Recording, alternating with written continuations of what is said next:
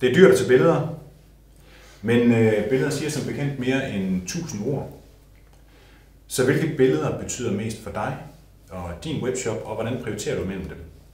Øh, det vil vi gerne tale om i den her video. Mit navn det er Kasper Christensen, og ved siden af mig har jeg Jens Hoffmann. Vi er begge to digitale forretningsudviklere her hos øh, Vertica. Men øh, hvad er det så for en ramme, de her billeder de skal performe i? Ja, vi befinder os jo på øh, produktdetaljesiden, og på produktdetaljesiden så handler det øh, primært om at få kunden til at kunne fjerne alle de tvivl, spørgsmål, som de har, ja egentlig også at tænde interesse og øh, begejstring. Øhm, billeder er her utrolig vigtige. For det vi ser, det er, at billeder er ofte det, som folk ser først, når de kommer på sådan en produktdetaljeside. Men det er faktisk også deres primære metode til at afgøre øh, elementer og aspekter af det her produkt. Også selv sådan nogle ret tekniske ting, såsom øh, hvorfor nogle udgange der er bag på et tv. Mm. Ja, og vi har jo øh, for at gøre det konkret, det her med at finde ud af, hvad er det gode øh, billede på en produktdetaljside, eller måske rettere, hvad er de gode billeder ja. på en produktdetaljside, så har vi jo øh, prøvet her sådan at liste nogle øh, kategorier op. Egentlig så kan man sige, at vi har sådan grundlæggende to kategorier, som kan karakterisere det her med, hvad, hvad giver de gode billeder. Øh, sådan den mest basale kategori har jeg øh, listet op her. Øh, det er, det er de ting, der, man skal sige, der kan, der kan gøre, øh, eller der kan fjerne forhindringer for, at brugeren vil købe det her produkt her. Lad os lige prøve at se på, hvad det er. Det kan være sådan noget som, øh, hvad hedder det, at have flere vinkler, så brugerne kan forstå det her produkt, hvad det er. Øh, vise det tilbehør, der er med til produktet, og visualisere størrelsesforhold, og så har vi det her med at bruge tekst og ikoner for at udtrykke vigtige features, som billedet ikke viser direkte. Vi skal nok komme med nogle eksempler på det øh, lige om lidt.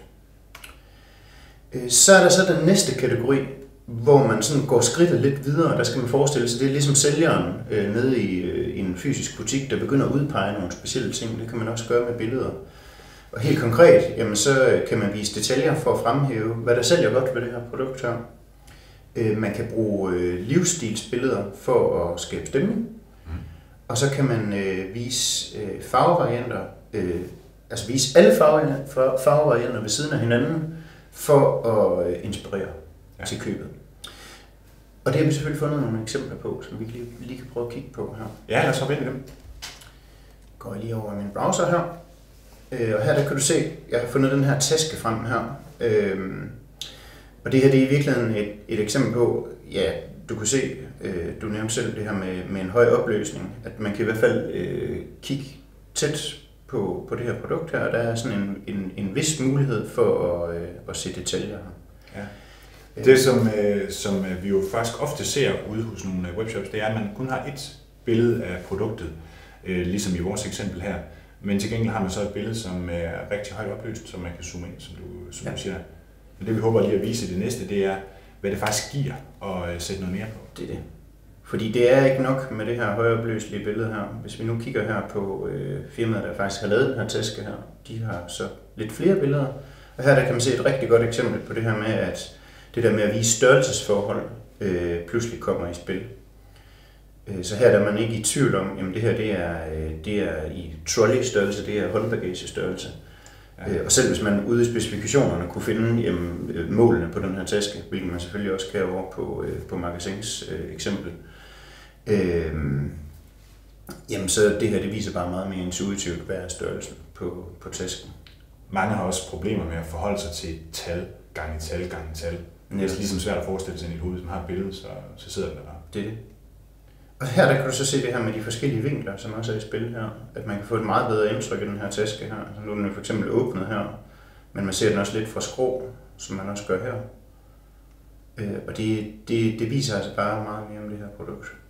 Og så har jeg så faktisk fundet det samme produkt på et tredje site, mm. fordi de tager den altså et nyk længere end øh, producenten selv faktisk. Fordi herovre på Zalando, øh, der viser der sådan nogle helt andre ting, som man måske slet ikke var opmærksom på, på de to andre sites. Og det er det her med at vise tilbehør. Fordi her kan du se nede i hjørnet, øh, der har vi den her øh, lille punkt, det er nok sådan en, en kosmetik øh, taske, mm. som viser sig faktisk at høre med til den her taske her. Og det står sikkert over i beskrivelsen, og faktisk så tror jeg også, man ville kunne se det på, på det første eksempel her, hvis man kigger rigtig godt efter. Tror jeg jo her. Øh, der vil man kunne se øh, muligvis den her punkt ligge nede i... Se, den ligger faktisk der. Der ligger den, ja. Men det er der ingen bruger der der. Så det der med at lige at få det vist på en anden måde her, det, det giver jo pludselig noget helt andet. Ja. Øh, og vil jo øge sandsynligheden for, at folk de køber herover på Zalando i stedet for de andre sites. Øh, på de andre sites bliver de måske ikke lige fristet det sidste stykke til at, at købe den her taske her. Og du kan se, at de har nærmest, ja, når vi sidder her i vores analytiske situation, så vil man sige, at de har måske nærmest overlæsset med billeder. Men det kan faktisk næsten ikke blive for meget, fordi alle de her billeder her viser noget unikt. Her kan du for eksempel se låsefunktionen, mm. der er fremhævet. Øh, de der nitter der, der har de lavet det med at zoom, altså som redaktør klippe nogle detaljer ud, som de vil lægge vægt på, i stedet for bare at lade brugeren zoome ind på billederne. En fed feature, man synes, at kunden skal lægge mærke til. Ja. Og det man kan sige, hvis du er over på den anden øh, magasins øh, website, som det var før, øh, så kan du øh, som kunde kigge på det her billede, men du bliver ikke gjort opmærksom på alle de her forskellige aspekter af det, alle de her tvivlsspørgsmål, du kan have, øh, hvordan er lukkemekanismen og så videre på det. Dem kan du ikke øh, finde ud af, så der du, får du tvunget ud på et andet site, eller på YouTube, eller hvad ellers, så, så skal der altså noget til, noget til, for at du kommer tilbage til magasins. Hvorimod, hvis du var på Zalando og får svar på nogle af de spørgsmål, hvorfor så ikke bare fortsætte der? Mm. Så øh, og det, er altså et eksempel på, hvordan magasinet måske har mistet øh, flere ja. øh, salg der. Ja. Nu skulle lige prøve at se et andet eksempel her, jeg har. Det er så fra Amazon, og de, øh, de er jo så altid kendt for at gøre alting godt, øh, men derfor kan vi godt lade os, øh, og måske derfor kan vi lade os inspirere af dem. Der er et telt her, hvor man kan sige, at den produktdetaljside starter med det her egentlig sådan frit skrabet, helt neutrale billede, som giver et godt startindtryk af produktet. Men det, som jeg vil vise dig der, det er her, hvor man har lagt de her ikoner ind over billedet. Og det er jo netop med udgangspunkt i det faktum, at rigtig mange brugere starter med at kigge på billedet, og nogen nøjes med at kigge på billedet. Mm. Så hvordan kan man snige væsentlige features ind der? Jamen, der har man jo egentlig været øh, intelligent og accepteret den her brugeradfærd, og så sagt, jamen der er noget med højde, der er noget med, hvor mange der kan være i sådan telt, der er noget med vandtæthed osv. Det klistrer vi ind som ikoner og faktisk tekst ind over billedet. Og meget af det der kan du jo faktisk ikke engang aflæse af billeder, i meget hvordan billederne er, det er, det. er sat på. Ikke? Der kunne man også... Øh, altså, og garanti for eksempel. Ja. Hvis man nu havde en creme, der duftede af citron, så ser man også nogle gange, så lægger man en citron ved siden af cremen. Og det er igen, fordi i stedet for at beskrive det i tekst, så viser man det som, som en del af det her billede her. Men så er der faktisk også nogle andre ting, de gør rigtig godt. Det her med at vise detaljer, øh, som vi, vi også var inde på øh, med tasken. Her der har man redaktionelt udvalgt at sige, at det her det er en feature, jeg som sælger vil pege på. Der er det her øh, øh, net, der hænger op øh, under øh, loftet af det her øh, telt her, og man har lagt nogle, øh, nogle ting ind for at vise, hvordan det egentlig bliver brugt, det her. Ja.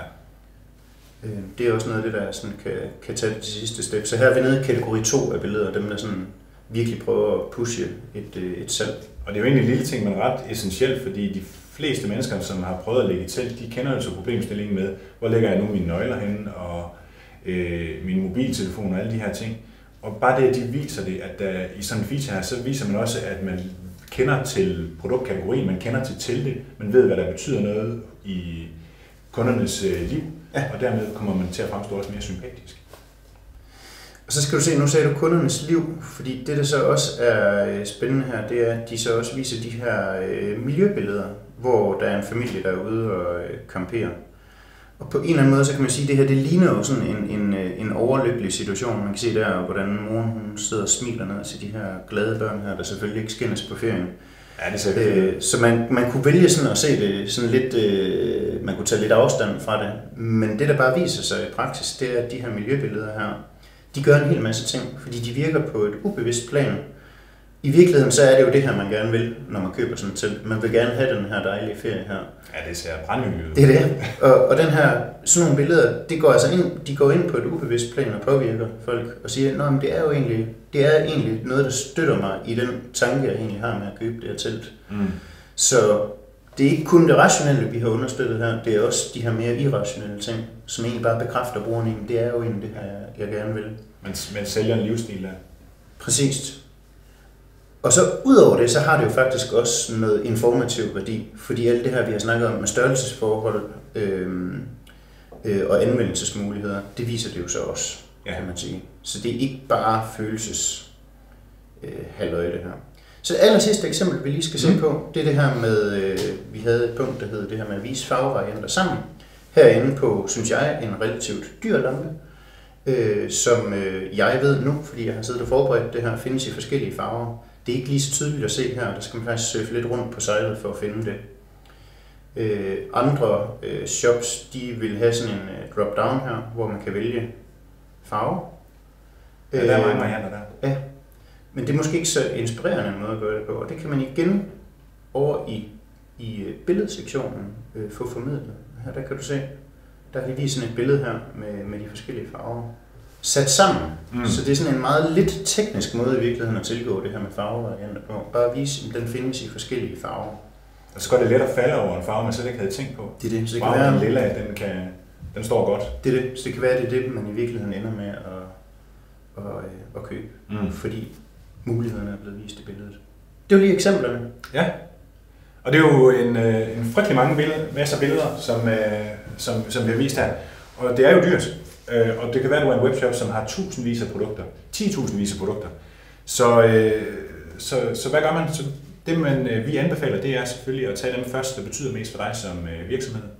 Og det kan jo være dem, som kendetegner dig som brand. Nogle produkter, som kendetegner dig som brand. Det kan også være dine top sælgere. Det kan være dem, som der er flest folk, som ser, kunder, som ser. Det kan også være dine top indtjenere, øhm, hvor man selvfølgelig skal starte med dem først. Og så kan du så komme i tvivl om, øh, hvor meget giver det så rent faktisk? Og øh, argumenter til, til din chef om at få lov til at tage flere billeder og bruge penge på det. Og det, som man kan gøre for at øh, rent praktisk finde ud af det, det er at øh, finde to kategorier, som er meget lige hinanden, og så give den gas på en af de her kategorier, med alle mulige forskellige lækre ekstra billeder på. Og så efter sæsonens afslutning, så uh, se, hvorfor en af de her kategorier, der er performet bedst, eller nærmere, hvor meget den anden har performet bedst. For du kan jo selvfølgelig have nogle situationer, hver virksomhed er forskellig, så nogle virksomheder kan uh, få mere ud af flere billeder end andre virksomheder. Så det er en, en god praktisk måde til at finde ud af, hvor meget der er i. Ja, det var vist, hvad vi havde at sige. Ja. Øh, du kan se flere videoer med os inde på Vertical TV, og det kan du også med nogle af alle vores kolleger her på Vertical. Tá Até.